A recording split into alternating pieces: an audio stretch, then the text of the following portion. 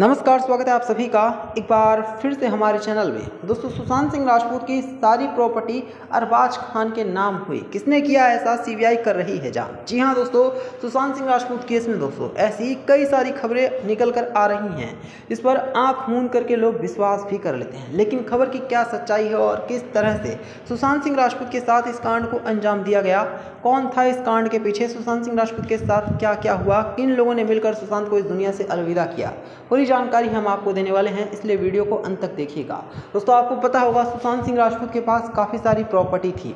और सुशांत की प्रॉपर्टी पर ऐसे बहुत सारे लोग थे जिनकी नज़रें गड़ी थी। हालाँकि दोस्तों, आपको बता दें, सुशांत सिंह राजपूत 20 जून 2000 14 जून 2020 को इस दुनिया को अलविदा कहकर चले जाते हैं और सुशांत की प्रॉपर्टी यहीं पर ही रह जाती है। लेकिन अब वो प्रॉपर्टी का क्या हुआ?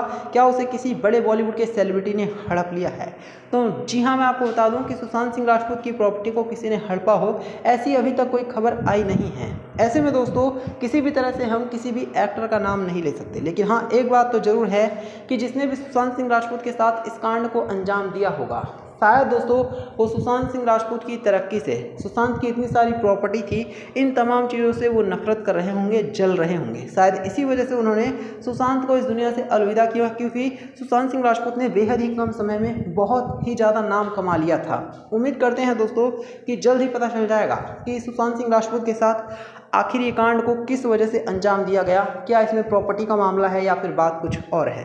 तो यही था वीडियो में, वीडियो को लाइक करना। इसे शेयर करना और चैनल को सब्सक्राइब करना।